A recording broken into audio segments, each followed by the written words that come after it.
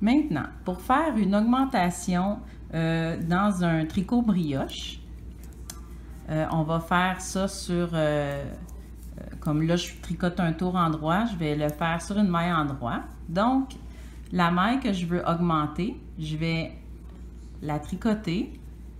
Je relâche pas ma maille tout de suite et je ramène mon fil devant pour faire un jeté et je retricote la même maille. Donc, dans une maille, j'en ai créé trois ici. Et là, je continue mon tricot normalement. Je vais répéter.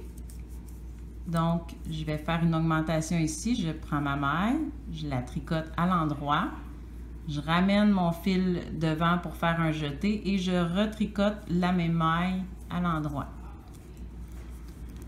Donc, de retour à mon euh, deuxième rang, euh, quand je vais passer par-dessus la maille que j'ai augmentée au rang précédent, je vais tricoter. Évidemment, là, je suis sur un, tour envers, donc je continue mon tricot envers jusqu'à temps que j'arrive à mon augmentation.